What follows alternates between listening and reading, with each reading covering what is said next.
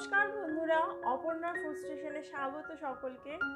আজকে আমি চলে এসেছি একটা সুন্দর ইয়ামি টেস্ট রেসিপি নিয়ে। হোমমেড চকলেট আইসক্রিম যেটা সবার পছন্দ, ছোট থেকে বড়, সবার ভালো লাগে। কি করে বানাবো চলুন দেখে নিই। মাত্র খুব সহজ তিনটে উপকরণ দিয়ে এই চকলেট আইসক্রিমটা বানানো হয়ে যাবে। তার জন্য প্রথমেই লাগছে আমাদের হুইট ক্রিম আমি এখানে নিয়েছি এক কাপ যারা ওজন করে নেবেন, তারা টু ফিফটি গ্রামস নেবেন।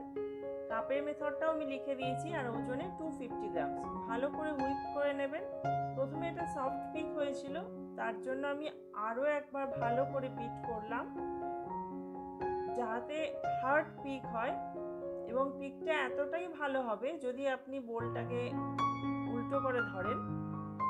আপনি দেখে নিন বিলটা আমি দেখিয়ে দিয়েছি। এইভাবে যদি আপনি বোলটাকে উল্টো করে ধরেন, তাহলে দেখবেন কিন্তু ওয়ান টু টেন কাউন্ট করলেও কিন্তু ক্রিম পড়ছে না। তাহলে আপনি জানবেন আপনার ক্রিম খুব ভালো বিট হয়ে গেছে।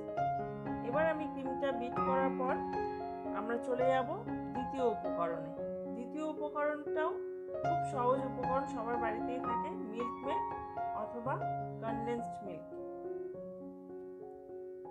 আমি এখানে ওয়েট মেশিনেই বসিয়ে নিয়েছি, এখানে হাফ কাপ কনডেন্সড মিল্ক রাখবে অথবা one fifty gram condensed milk নিয়ে নিয়েছি। এর সাথে আরেকটা উপকরণ নেব যেটা খুব সহজেই সবার ঘরে এখন তো আছেই কোকো পাউডার প্রত্যেকে চকলেট কেক পুডিং বানাচ্ছেন কোকো পাউডার এখানে four and half tablespoon মতো কোকো পাউডার নিয়েছি। একটু ছাঁকনিতে আমি ছেঁকে নেব, যাতে কোনো লাম্পস না থাকে। আপনারা চাইলে আর একটু বেশি কোকো পাউডার কিন্তু এখানে আপনারা নিতে পারেন। যাদের একটু ফ্লেভারটা ভালো লাগে আর একটু স্ট্রং হয়, এটা তো সেমি সুইট কোকো পাউডার নিয়েছি। এবার কন্ডেন্স মিল্কের সাথে স্প্যাচুলা দিয়ে খুব ভালো করে আস্তে আস্তে আপনি এটাকে বিট করবেন, দেখবেন এটা আস্তে আস্তে পুরোটাই মিলে যাবে এবং সুন্দর একটা ফ্লোয়িং সিরাপি ইয়ামি কনসিস্টেন্সি চলে আসবে। দেখুন, আপনি আমি এখানে ভিডিওটা একটু স্পিড বাড়িয়ে রেখেছি। যাতে সময়টা নষ্ট না হয়। তো এটা আপনার বাড়িতে খুব সহজেই করে নিতে পারবেন। আগে তো হুইপ ক্রিম করাই ছিল। সেই হুইপ ক্রিমটা আমি এখানে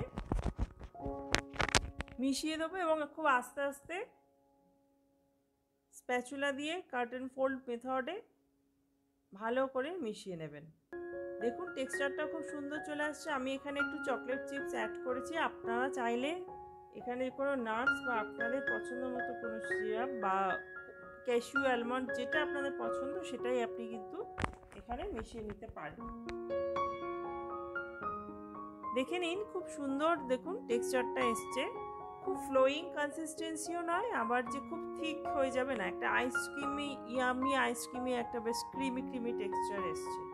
দেখেই তো লোভ লাগছে, মনে হচ্ছে কি এক্ষুনি এক চামচ একটু খেয়ে নেওয়া যেতে পারে।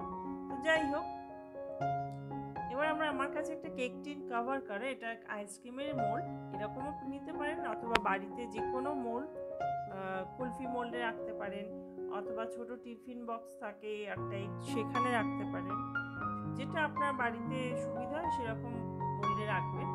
সুন্দরভাবে একটা প্লেন করে দেবেন সারফেসটা আর ক্লিন র্যাপ যদি থাকে ক্লিন র্যাপ দিয়ে ভালো করে কভার করে দেবেন। কভার করে এটাকে জাস্ট এয়ারটাইট যাতে হয় একদম।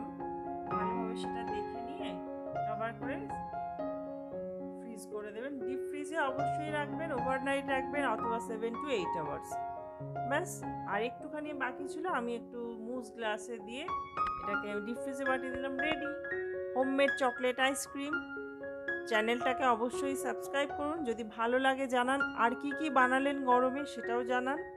আর কেমন লাগল সেটাও জানান। নমস্কার।